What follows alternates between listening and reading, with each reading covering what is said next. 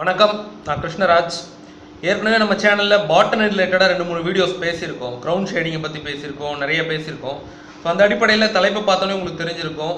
சிரிக்கிறதுக்கும் டெத்துக்கும் என்ன சம்மந்தம் இருக்க முடியும்? ஒரு மனுஷன் மரணம் அப்படிங்கிற ஒரு விஷயத்தை நேர்கொள்ளும் போது சிரிப்புங்கிறது வரவே முடியாத ஏற்றுக்கொள்ளவே முடியாத ஒரு தத்துவமாக இருக்குது ஸோ இந்த ஸ்மைலிங் டெத் அப்படிங்கிற இந்த கான்செப்ட்டு ஒரு உலகம் முழுக்க நிறைய இடங்களில் ரிப்போர்ட் பண்ணப்பட்டிருக்கு. அதுக்கு காரணமான ஒரு தாவரத்தை பற்றி ஒரு செடியை பற்றி தான் நம்ம பேச போகிறோம் ஸோ முதல்ல இதை பற்றி நம்ம தெரிஞ்சுக்கணும் அப்படின்னா இந்த விஷயம் எப்படி வெளியே வந்தது எங்கே எதன் மூலமாக இது வந்தது அப்படின்னு கேட்டால் இது ஒரு journal of natural herbs journal of அதாவது ஆக்சுவலாக காஸ்மெட்டிக்ஸ் சம்மந்தப்பட்ட ஒரு ஜேர்னல் அது. ஸோ அதில் வந்து ஒரு வித்தியாசமான விஷயம் கண்ணில் பட்டது. ஸோ அங்கே வந்து ஒரு ஒரு மனிதனை சிரிச்சுக்கிட்டே கொள்ளக்கூடிய இல்லை மனிதன் இறக்கும் பொழுது ஒரு நகைப்புடன் ஒரு ஒரு ஒரு புன்னகையுடன் இறக்கக்கூடிய ஒரு இறக்க வைக்கக்கூடிய ஒரு பண்பை கொடுக்கக்கூடிய ஒரு தாவரம் இருக்குது அப்படிங்கிறது பார்க்க நேர்ந்தது. ஸோ அதனால தான் இந்த வீடியோ நம்ம பண்ணுறோம் ஸோ இந்த தாவரத்தினுடைய பெயர் வந்து ஹெம்லாக் வாட்டர் ட்ராப் வாட் கொஞ்சம் டிஃபிகல்ட்டாக தான் இருக்குது பேர். ஸோ நீங்கள் கூகுள் பண்ணி தெரிஞ்சுக்கணும்னு நினச்சிங்கன்னா ஸ்மைலிங் டெத் பிளான்ட் அப்படின்னு கூகுள் பண்ணாலே போதும். இல்லை ஸ்மைல் டெத் பிளான்ட் அப்படின்னு அதாவது இந்த தாவரம் ஏற்கனவே நம்ம ரெண்டு மூணு வீடியோஸில் பாட்னி ரிலேட்டடான வீடியோஸில் வித்தியாசமான செடிகளை பற்றிலாம் பேசணும் மனிதனை தற்கொலைக்கு தூண்டும் தாவரம் அப்படின்னு ஒரு வீடியோ பண்ணியிருந்தோம். மரங்களின் வெட்கம்னு சொல்லப்படுற க்ரௌண்ட் ஷேடிங்கை பற்றி ஒரு மரத்துக்கும் இன்னொரு மரத்துக்கும் உண்டான கம்யூனிகேஷன் இதை பற்றிலாம் நம்ம பேசியிருந்தோம். ஸோ அதே ஜானரில் இந்த வீடியோவும் வரும். ஸோ முதல்ல எட்டாம் நூற்றாண்டுக்கு போயிட்டு இந்த விஷயங்கள் இந்த இது சார்ந்த சில விஷயங்களை பேசிட்டு திரும்ப இந்த நம்ம இருபத்தொன்னாம் நூற்றாண்டுக்கு வரலாம்னு நினைக்கிறேன். ஸோ எட்டாம் நூற்றாண்டில் மத்திய தரைக்கடல் பகுதின்னு சொல்லப்படுற மெடிட்டரேனியன் சி மெடிட்ரேனியன் சீங்கிறது உங்களுக்கே தெரியும் யூரோப்பும் ஆப்பிரிக்காவும் மீட் பண்ணக்கூடிய இடத்துல இருக்கக்கூடிய ஒரு கடல் பகுதி. இந்த பட கடல் பகுதியில் வாழ்ந்த ஒரு கூட்டம் ஒரு பழங்குடி மக்கள்னு கூட சொல்லலாம். இவங்க வந்து ஒரு தீவில் இருந்திருக்கிறாங்க சர்டீனியா அப்படின்னு ஒரு தீவு. ஸோ எதுக்கு இப்போ இதெல்லாம் சொல்கிறேன் அப்படின்னா இந்த தீவு மக்கள் தான் முத முதல்ல வரலாறில் இந்த மாதிரியான ஒரு டெத்தை ரிப்போர்ட் பண்ணியிருக்காங்க. இன்னும் கூட கரெக்டாக சொல்லணும் அப்படின்னா ஒரு குறிப்பிட்ட குற்றவாளியோ தண்டனைக்கு உட்படுத்தப்பட்டவரையோ இதன் மூலமாக கொண்டிருக்கோம் அதாவது அந்த குறிப்பிட்ட குற்றவாளி பாதிக்கப்பட்டவனுக்கு வந்து அவன் ரொம்ப கொடுமையான தீங்கழித்திருக்கான் ம- ஒரு கொலபாதகம் பண்ணியிருக்கான் அப்படிங்கிறது நிரூபிக்கப்படுற பட்சத்தில் அவனை வந்து இந்த குறிப்பிட்ட தாவரத்தை உட்கொள்ள வச்சு கிட்டத்தட்ட சிரிச்சு சிரிக்க வச்சே சாவடிக்கிறதுங்கிறது வழக்கத்தில் இருந்திருக்கு. கேட்கறதுக்கு இது ரொம்ப ஃபன்னியாக இருக்கலாம். ஆனால் இப்படி ஒரு தாவரம் இருக்குது hemlock H E M L O C K hemlock water W A T R drop wort D R O P W A R T இந்த ஹெம்லாக் ட்ராப் வாட்ங்கிறது பார்க்கறதுக்கு கிட்டத்தட்ட நம்ம ஊரில் இருக்கக்கூடிய கொரியண்டர் அதாவது கொத்தமல்லி மாதிரியே இருக்கக்கூடிய ஒரு ரொம்ப ஹைலி பாய்சனஸான ஒரு தாவரமாக இருக்குது.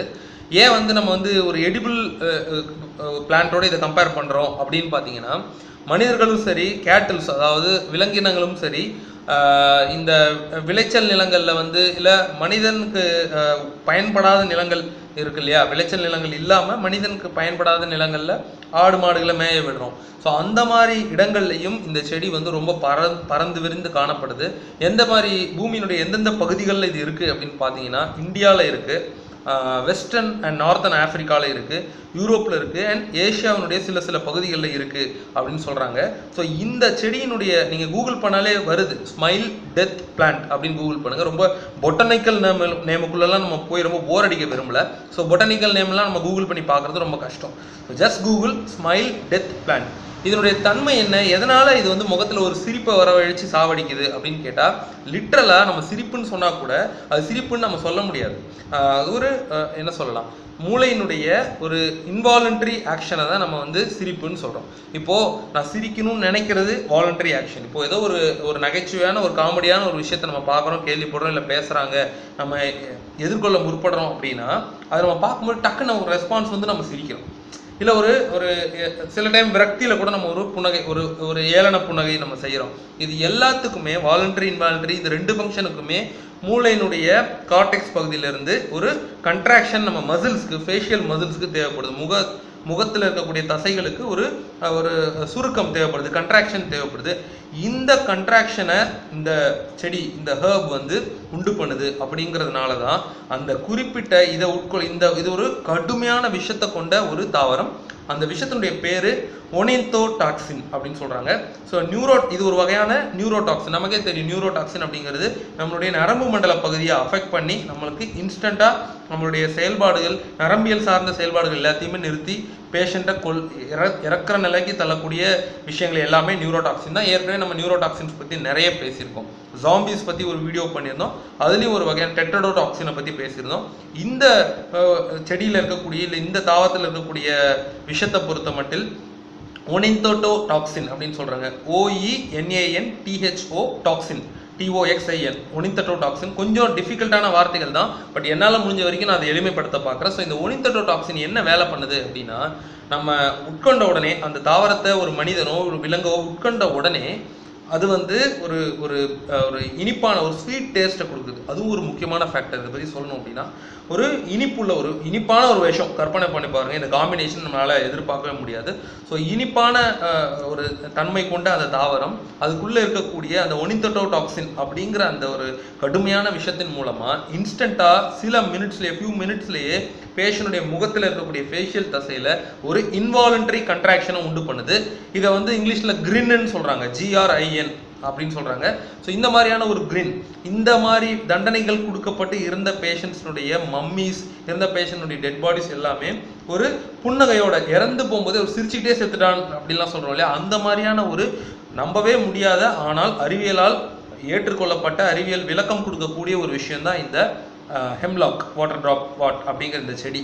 ஸோ இது ஒரு புதுமையான விஷயமா மட்டும் இல்லாமல் நம்ம தெரிஞ்சுக்க வேண்டிய விஷயமாவும் இருக்குது ஏன்னா நம்ம ஒன்றும் அந்த மாதிரி செடிகளை நம்ம எக்ஸ்போஸ் பண்ணி நம்ம சாப்பிட போகிறதில்ல பட் எப்பயாச்சும் இந்த மாதிரியான விஷயங்கள் நம்ம பார்க்க நேர்ந்தால் நம்மளால் முடிஞ்ச வரைக்கும் ஒரு யூஸ்ஃபுல்லான ஒரு கம்யூனிட்டிக்கு நம்ம இது ஒரு ஷேர் பண்ணணும்னு நான் நினச்சேன். அதனால் நான் இங்கே ஷேர் பண்ணிக்கிறேன்.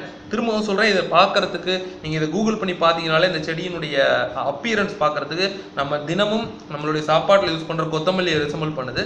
ஸோ அதனால் எங்கேயாவது எப்பயாச்சும் பார்த்தீங்கன்னா பி கேர்ஃபுல் ஸோ இதை பற்றி நீங்கள் தெரிஞ்சுக்கணுன்னா நான் முன்னாடியே சொன்ன மாதிரி ஸ்மைல் டெத் பிளான்ட் அப்படின்னு கூகுள் பண்ணுங்கள் ஸோ இதை பற்றி இன்னும் நிறைய விரிவான விளக்கங்கள்லாம் இருக்குது பட் இது போதும் நான் நினைக்கிறேன். இது ஒரு புது விஷயமா இருந்ததுன்னா தேங்க்யூ இன்னொரு வீடியோவில் பார்ப்போம். தேங்க்யூ